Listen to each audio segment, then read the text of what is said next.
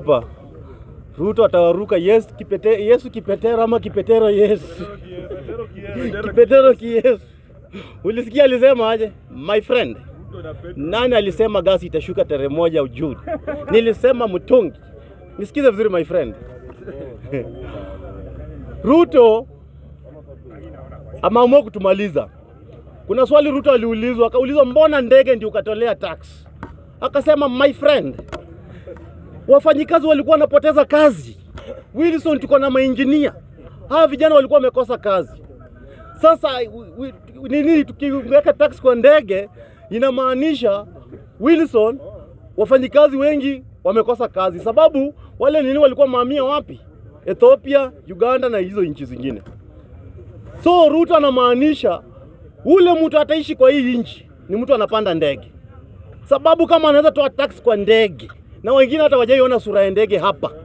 Ruto anakupenda kweli, Ruto anataka ukufe. Ule mtu ako na uwezo wa kupanda ndege ndiye ataishi hii nchi. Ruto, mi kwanza ningekuwa Ogola ningekuwa nimetwanga huyo mtu risasi ya matako. Huyu jamaa anajua sheria, na hata tulisema hapa kwa kambi ya jeshi tayari kulikuwa kumeanza kuwa na tension. Civilian walikuwa wameanza kuhamishwa na nini kwa kambi ya jeshi. Nani hakuwa anajua?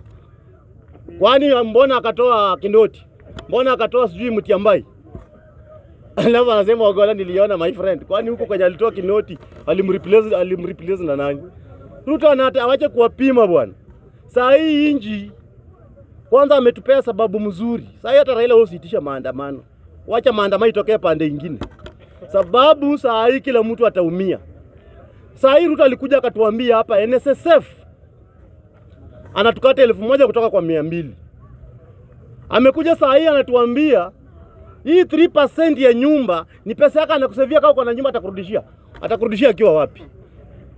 Nilikuambia kama unafanya kazi uko kwa payroll, tulikuwa tunafinya star 303 tunaangalia pesa yetu- ya NSSF imefika ngapi.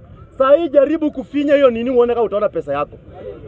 Ruto amekula kila mahali, saa anakunyang'anya live. Ni nilisema, unajua ukichagua mwizi wewe unajua ile unatarajia. Saa huyu jamaa anatukula live, na saa hii nakwambia hata utoke usitoke utakufa, sababu saa ametangaza kwamba ni kukufa, kwa sababu yeye amesema hakuna kurudi nyuma.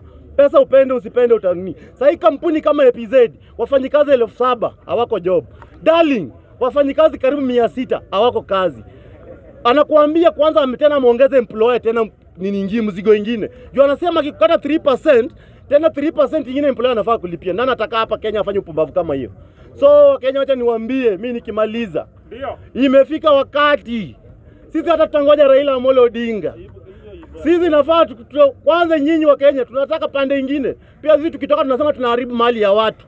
Sasa sisi hatutaki kuharibu mali ya watu, tunataka wale mali yao inaharibiwa wakoe wa kwanza kutoka, na tunajua hii mwezi itakuwa mbali wale wenye wanaharibiwa mahali kama hawajatoka kwenda kuandamana, sababu Ruto amemulika wao, na hata alipoulizwa juu swali juu ya Gachagua mliona venye alijibu juu anajua Gachagua ni wenda wazimu. Sasa angejibu swali ya wenda wazimu. Asanteni sana.